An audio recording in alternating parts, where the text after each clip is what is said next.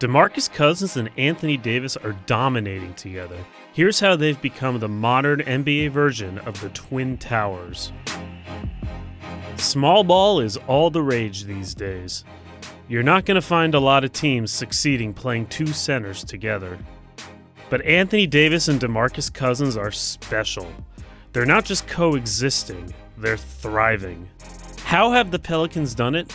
By treating them more like guards instead of bigs. How about that lob boogie to AD? The problem with most big man duos is they get in each other's way. So, the Pelican strategy is essentially governed by one rule only one big man inside at a time. Can't guard that. Throw the hammer down. Just look at this alignment. There's Cousins chilling on the perimeter like he's a guard. Holiday, he's got AD. How about that hammer? And if Cousins wants to go inside, AD takes his place. If these two were normal big men, this strategy would be silly. But they're not. Cousins is a threat from downtown. He can pass. Davis, good catch and flushes it down. He can drive past centers. It'll be Cousins, and he's going hard to the hole. And that allows AD to lord over the paint where he's best.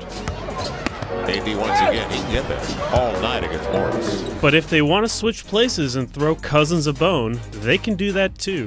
On the spin, He got there, and he's got the 2020 game. That's old school right there. This strategy really works on fast breaks. When a shot misses, Davis hauls ass.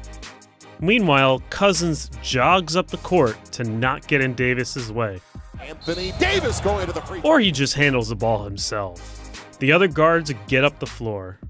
The Pelicans can then go into early offense easily.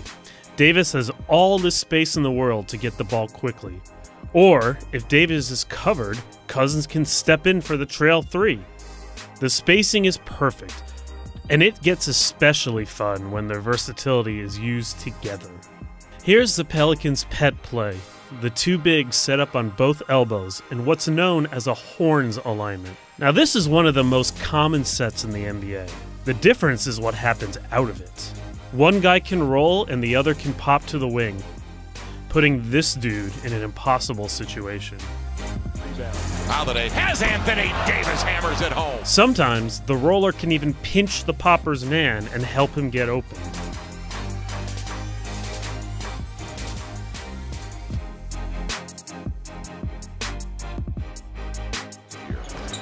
It'll be Cousins again. He's going to the line and looking for the three-point play. Sometimes they go into a high low action. We are good for it inside. Or sometimes they do my favorite thing a giant pick and roll. Lob City, but with two huge dudes.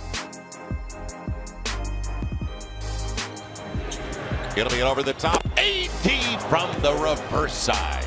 Not bad. It's still true that you can't play two big men together in the modern NBA. That is, unless you have Anthony Davis and DeMarcus Cousins. They've cracked the code for how to play big without being slow. In a league of copycats, the Pelicans are breaking the mold. Henson and AD set it up. He had that communication. You saw the eye contact with Boogie.